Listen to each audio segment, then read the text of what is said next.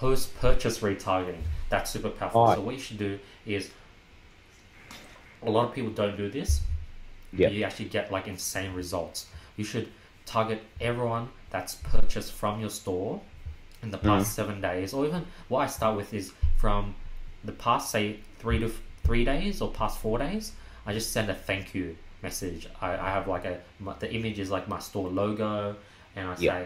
hey, thank you so much for ordering our product. Um, we are you know going to you know quality check, hand package it, um, and make sure everything is good to go before we send it to you. So expect a tracking update very soon. Uh, we just want to say thank you for ordering, and you don't link your store, you don't give a coupon, you don't do anything, and that ad itself converts. Like they somehow see the ad, they go ahead Yeah. and open a new tab and they search your store and they buy another item just because you just have such a nice customer experience.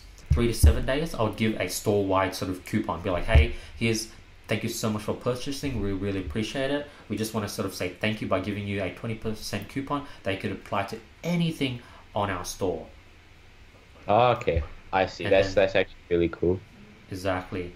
And then I think you could do one from like 14 to like 60 days, give like a 30% coupon. And same thing, apply it to anything in your store. Talk about, hey, hey, recently we've gotten, we ordered a bunch of new stock and we have a lot of inventory, and that's why we're giving everyone 30% off store wide. Yeah. And that's sort of the evergreen store post purchase retargeting ad. Now you want to make a separate one specifically for your product. You want to sort of give them tailored ads, meaning since they saw this product, you want to retarget them with more coils. Be like, hey, do you want more coils at 30% off? Hey, do you Yeah. want more um, this sort of solution that helps you clean your foot? 50% off. Hey, do you want this sort of um, no- another bathtub that's different, um, but it's also sort of helping for cleaning for your feet, fifty percent off. And that's sort of what you already have with your store. How it costs a two hundred dollars and it's fifty percent off at a hundred.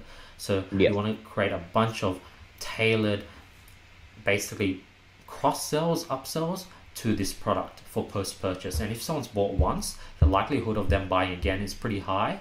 A lot of people might ask, "Oh, what would happen? Like, would do they want to wait until they get the item first before you show them these retargeting ads?"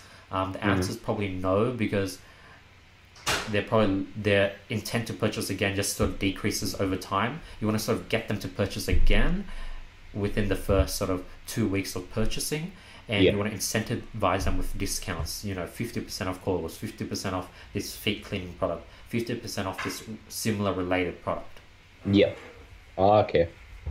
I see. That's actually really interesting.